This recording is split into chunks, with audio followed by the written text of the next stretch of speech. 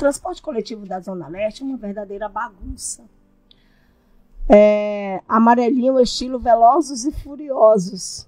São ônibus velhos, quebram diariamente e o valor da passagem está um absurdo. E o pior, são as mesmas empresas que operam no transporte coletivo há anos na cidade de Manaus.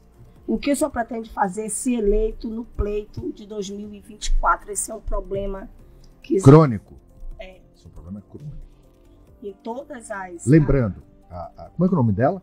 Ela é a é, Lene. Lene, muito obrigado pela tua pergunta. Deixa eu, eu vou tentar te responder da maneira mais objetiva possível. A Zona Leste de Manaus, assim como a Zona Norte, ela tem uma dinâmica toda especial. Por quê? Porque além do transporte coletivo por ônibus, a Zona Norte e a Zona Leste tem o transporte especial. Não é, especial, é o alternativo que a gente chama. Que são os amarelinhos. Conhecido como os amarelinhos. Com o passar dos anos, realmente esse transporte ele vem se deteriorando por falta da renovação da frota. Tem muito problema de comportamento de motoristas e cobradores. Isso é um problema grave. A população tem toda a razão em pontuar e reclamar. Isso passou durante anos por várias administrações. A boa notícia, na minha opinião, Keldman e Lene, é que a gente viu, eu pelo menos vi uh, nas redes sociais da prefeitura, há, de uns 10 dias para cá, que a prefeitura está fazendo uma nova licitação para esse, esse modelo de transporte. Ela fez uma nova licitação. E essa nova licitação ela traz como obrigação a compra de ônibus novos. Tá? De, as pessoas vão ter que colocar ônibus novos, porque realmente os ônibus que estão atendendo hoje estão péssimo estado de, de, de tráfego, de condições de operar, de transportar com segurança, com conforto os passageiros. Mas aí a prefeitura vem e conseguiu desenrolar essa situação dessa licitação. Então eu estou na expectativa, como muitos, de que o transporte alternativo, conhecido como amarelinhos, que agora juntou, é, é, juntou antigamente tinha um executivo e alternativo, uhum. e aí juntou tudo num só. Né? Que esse transporte volte a ser um transporte seguro, confortável e com motoristas e cobradores entendendo que eles não estão fazendo um favor para o povo, não. E o que me incomoda são os relatos de que tem motorista que acha que faz um favor. Não, eu estou fazendo um favor. A pessoa está pagando. Você está pagando. Está pagando. R$ 4,50 é o valor da passagem. É? Então, o que o motorista, que o cobrador tem que fazer é ter essa noção. E aí, Keudio, eu quando fui vereador até 2020, eu ali já defendi uma coisa, eu acho que a Lene e quem nos vê nesse momento vai entender. A gente tem hoje esse fenômeno dos transportes por aplicativos, não tem? É? Muita gente hoje. É, muita gente utiliza. É? Engraçado. Ah, quando a distância é pequena, hoje as pessoas dificilmente pegam ônibus, as pessoas preferem chamar um aplicativo. Quando a distância é grande, a pessoa vai e pega o ônibus, ok.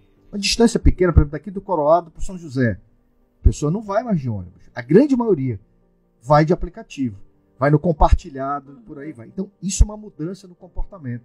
Isso é um fenômeno dos nossos tempos. Onde é que eu quero chegar? É que no aplicativo, se o cara me trata mal, eu vou lá e faço uma observação. Olha, esse cara me atendeu mal, fui mal atendido, não é isso? Não dá estrelas. E a plataforma avalia o comportamento. Sim é o cidadão avaliando direto o comportamento daquele profissional. Então, o profissional sabendo disso, ele anda na linha. De igual modo, o, o motorista ele pode avaliar o passageiro, né? É, é, é, é, é via de mão dupla. Onde é que eu quero chegar? É que eu acho que é possível que no transporte alternativo o cidadão também possa avaliar no aplicativo o comportamento do motorista e do cobrador, para que a prefeitura saiba em tempo real qual é a nota do serviço daquele, daquele alternativo, daquele ônibus. Por que não? Por que não dar ao cidadão a oportunidade dele avaliar em tempo real e a prefeitura, com aquelas avaliações que eu chamar o motorista, dizer, olha, você está sendo muito mal avaliado. O que está acontecendo? As pessoas estão reclamando muito.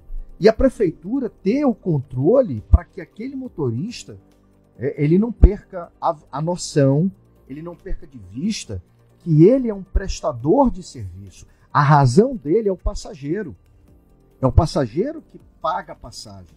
Então, a tecnologia pode ser incrementada, a gente pode implementar essa ferramenta nesse tipo de serviço que hoje é administrado pela prefeitura. Então, eu torço para que a prefeitura conclua a licitação, novos ônibus, Chegou, um novo né? serviço. Ônibus, ônibus, elétrico agora. Pois é, nos ônibus, uh, no transporte coletivo de massa, está chegando ônibus elétrico, que é uma coisa é, muito bacana. É muito bacana, porque, enfim, tem uma série de efeitos para o meio ambiente. Sim. Né? Ah, tem ônibus novos que chegaram aí, articulados, enfim. Eu vejo aí o Davi fazendo um esforço, sabe, muito grande para que ele possa melhorar esse serviço. Agora, o Davi está tá no tá completando o terceiro ano da administração. Não dá para comparar a administração do Davi com que só teve três anos com quem teve oito anos e também não tomou essa providência. Então, eu vejo o esforço do Davi para melhorar essa prestação de serviço. Tá? A maior prova disso é que o Davi conseguiu fazer a licitação do transporte alternativo. E essa licitação vai proporcionar ônibus novos, mas eu espero verdadeiramente que, além de ônibus novos, é que o comportamento de motoristas e cobradores também seja novo. Não adianta nada ter um ônibus novo e o comportamento do cabra Sim. lá continuar mal educado, dirigindo perigosamente, não respeitando, sabe, o direito de pessoas idosas, Sim. de passageiros. As reclamações são muitas.